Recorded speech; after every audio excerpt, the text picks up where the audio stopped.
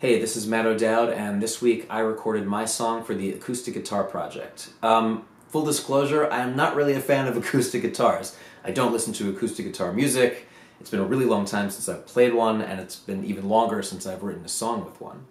Um, I really like production. Production sort of opens up so many possibilities, and if you have a laptop, you pretty much have this complete studio with all the effects and instrument sounds you can possibly imagine.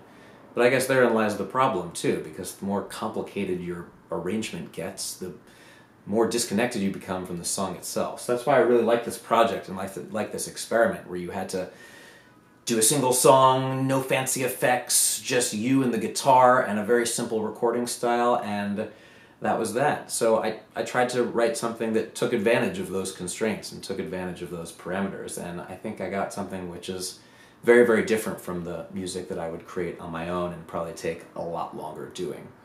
Um, so the song that I put together is called uh, "Talk to Someone." It is kind of about the idea of venting to other human beings and what value we get out of that, and what's kind of going on inside of our own minds as we lay these things out on the table. Um, and I hope you guys like it, and I'm looking forward to seeing what uh, the rest of the world does with this thing. So thanks for letting me play.